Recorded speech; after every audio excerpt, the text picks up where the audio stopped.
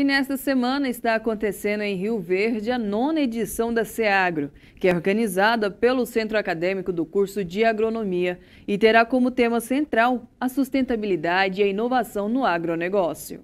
Esta semana está acontecendo a nona SEAGRO, a Semana da Agronomia, trazendo como foco a sustentabilidade e a inovação no agronegócio, trazendo assim mais conhecimento para os alunos do Instituto Federal Goiano, Campus Rio Verde.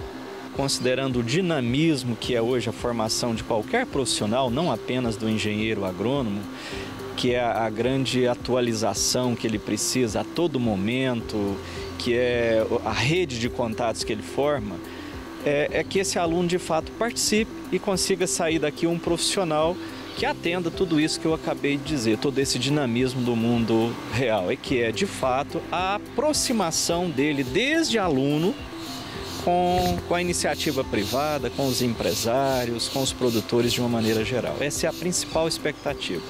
O evento é voltado para estudantes e profissionais das áreas de ciências agrárias. São atividades que contribuem para o aumento da produção, preservação de recursos naturais e aprimoramento de tecnologias. A nossa Semana Agronômica visa muito a relação interpessoal entre todos. Então, comunicar, conhecer novas pessoas, conhecer novos produtores rurais, novos palestrantes, entender o que eles pensam sobre o agronegócio e quais são as informações que eles têm para nos passar, porque nós somos inexperientes ainda nesse ramo, estamos adentrando agora, estamos começando um novo mundo, né, um novo mundo profissional que é, é complicado de certa forma, mas creio que vai dar tudo certo a gente vai aprender bastante com isso. Cada dia mais a gente está trazendo vários palestrantes, cada dia vai ter um palestrante de fora e uma área diferente para esses alunos poder agregar o conhecimento. Então, as nossas expectativas é cada dia mais lotar mais esse auditório e trazer mais alunos para ele, para a gente conseguir fazer esse network aqui entre os empresários, entre os já produtores e os, os profissionais que já estão na área. Então, para cada dia mais a gente tentar buscar melhorar esse network entre alunos e profissionais da área da agronomia. Está sendo muito gratificante ter essas palestras com todos esses profissionais da área, professores, fazer um network. Para nós estudantes é muito importante, que a gente fica só nessa vida acadêmica, então é bom também a gente ver o lado profissional da coisa. Então está sendo muito bom.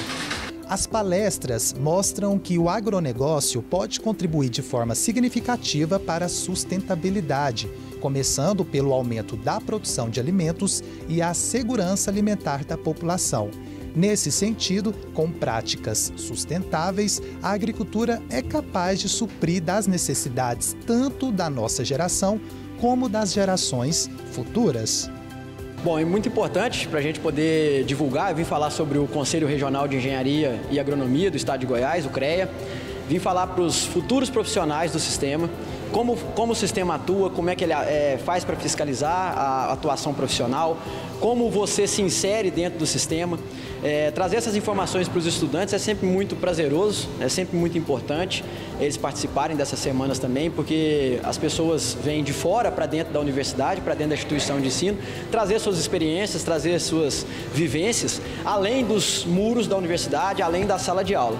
Então é importante demais, eu acredito que eu tenha colaborado um pouco aqui e é, é lógico que a gente está sempre à disposição é, para quem quiser que a gente possa ir lá falar um pouquinho mais sobre o sistema de fiscalização profissional que é o CREA Goiás.